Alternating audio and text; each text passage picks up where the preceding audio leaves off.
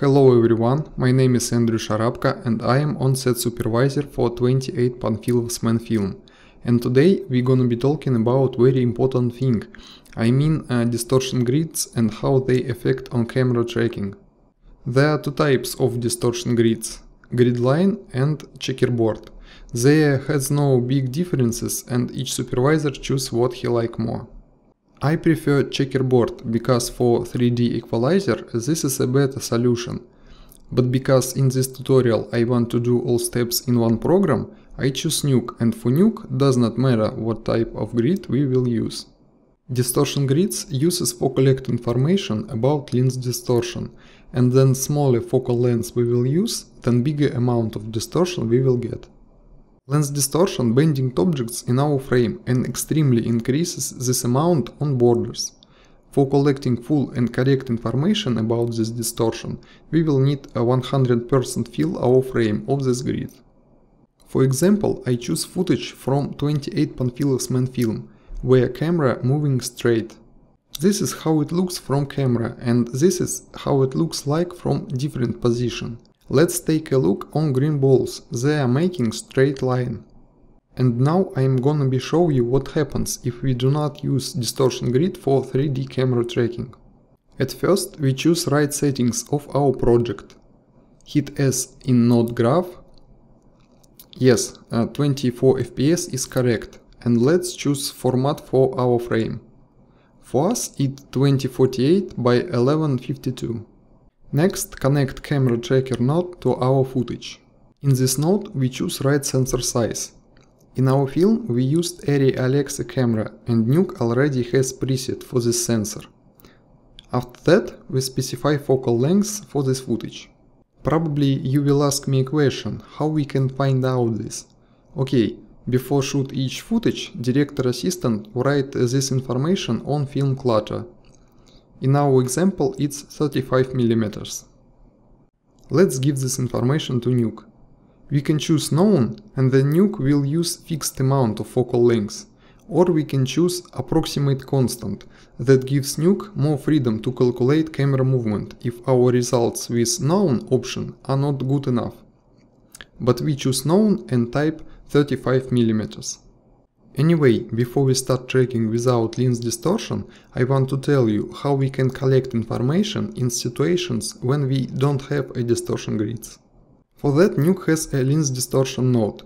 This node analyzes movement of pixels in frame and build approximate amount of distortion.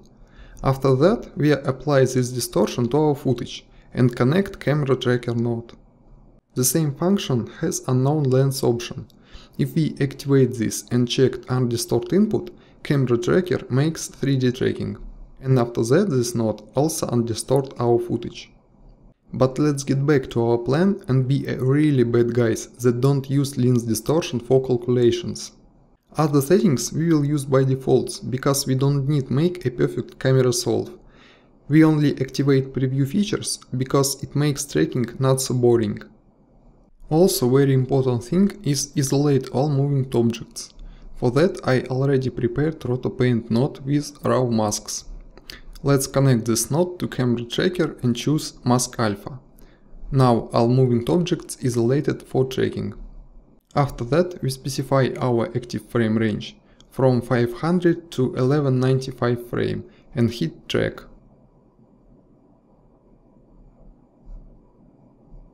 Perfect, tracking is done, and after that we hit Solve button.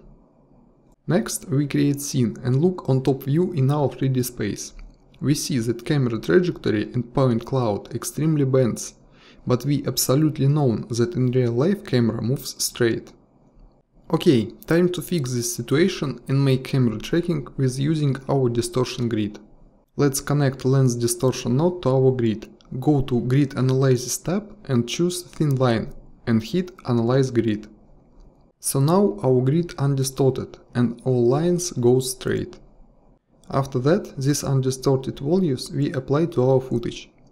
Let's duplicate it and connect lens distortion node. When this node active, we hit D and see how change our footage with undistortion. Next, we will do all the same manipulations with tracking as we done before. For that we create camera tracker node, change our film back size and specify focal length.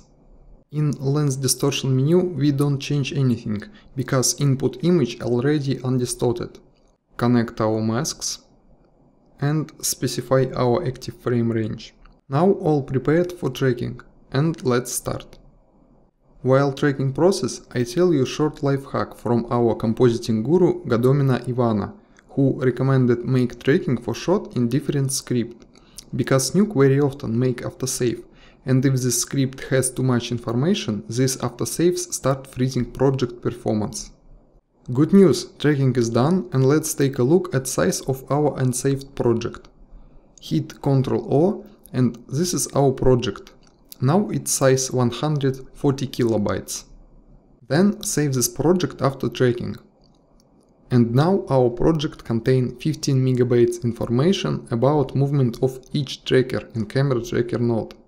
But we need only information about camera movement. Now we click on solve button, create a scene, and on top view we can see what we get. This result is much better Yes, camera movement line don't perfect straight. Uh, this because we did very raw tracking, and for better results we need to do manual tracking for control each tracker. After that, we can see how important using lens distortion data for camera tracking and geometry reconstruction in scene. But this is not all functions of lens distortion, because at the next step we will use this data for applying distortion to all elements that we will add to our footage.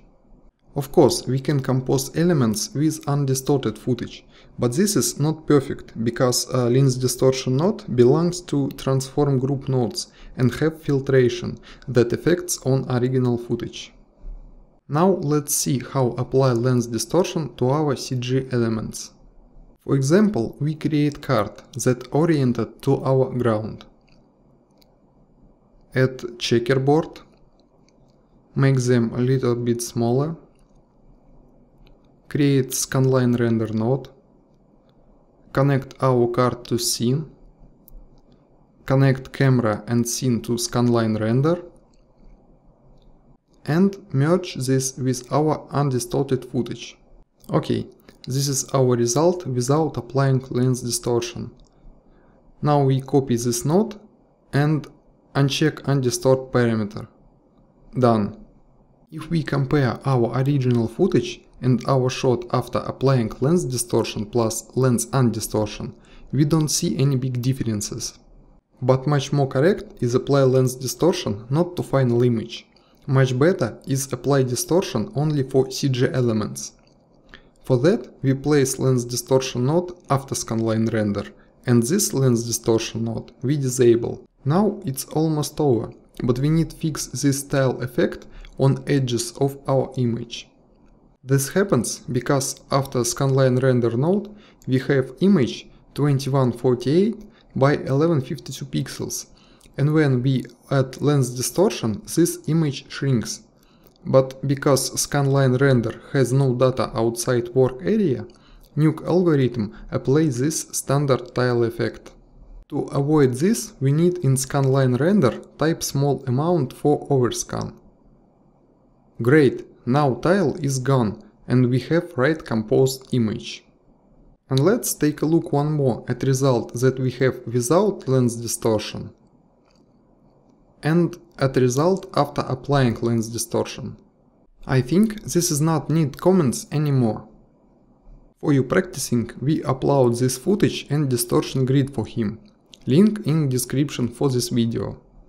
So I hope after this tutorial you will always using lens distortion, shooting distortion grids for each camera sensors and lenses and compose images right. And have a good solve. If this tutorial helps you to understand lens distortion basics, please subscribe to our YouTube channel and Facebook page.